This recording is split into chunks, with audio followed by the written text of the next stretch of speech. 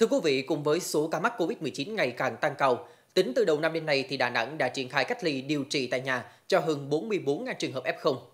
Để đảm bảo việc giám sát cũng như hiệu quả điều trị, hiện thành phố Đà Nẵng đã huy động nhiều lực lượng khác nhau để hỗ trợ các trạm y tế lưu động hoạt động hiệu quả.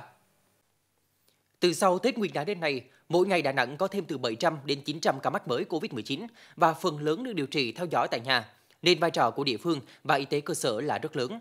Hiện các địa phương kích hoạt và sử dụng 75 trạm y tế lưu động với nhân lực 399 người, trong đó có 254 người là bác sĩ, nhân viên y tế. Từ cuối tháng 1, mạng lưới thầy thuốc đồng hành được triển khai để hỗ trợ điều trị, theo dõi F0 tại nhà với 149 bác sĩ, tình nguyện viên.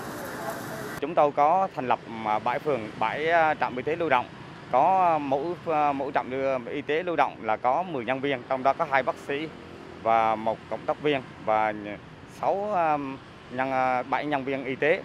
cùng với 49 cộng tác viên sức khỏe cộng đồng để à, à, giúp cho việc điều trị f tại nhà. Chúng tôi cũng đã huy động các lực lượng cơ sở về để hỗ trợ thêm cho lực lượng y tế của phường thì trong đó thì lấy cái cộng tác viên y tế dân số của phường làm nòng cốt và trưng dụng thêm số lực lượng đoàn viên thanh niên tình nguyện cũng như là lực lượng nhân quân để hình thành các cái trạm y tế lưu động. Trong hơn 16.500 trường hợp F0 đang điều trị tại nhà hiện nay, có 9.600 trường hợp không có triệu chứng, gần 7.000 trường hợp triệu chứng nhẹ. Việc quản lý theo dõi sức khỏe và hỗ trợ F0 được thực hiện chặt chẽ theo đúng quy trình không có thời gian nghỉ ừ, cả ngày lẫn đêm về thu dung điều trị, về tư vấn về F1 cách ly, rồi tư vấn về F0 cách ly tại nhà, rồi về rác thải, về sử dụng thuốc. Mong người dân họ có tinh thần tự giác để khai báo và điều trị theo đúng quy định. Để đảm bảo hiệu quả điều trị cũng như tránh nguy cơ dịch bệnh lây lan rộng tại cộng đồng, thành phố cũng đã yêu cầu các địa phương phải có biện pháp chặt chẽ để quản lý F0 tại nhà. Tôi đề nghị ngành y tế và các quận huyện phải tập trung tăng cường cái nguồn nhân lực cho y tế cơ sở.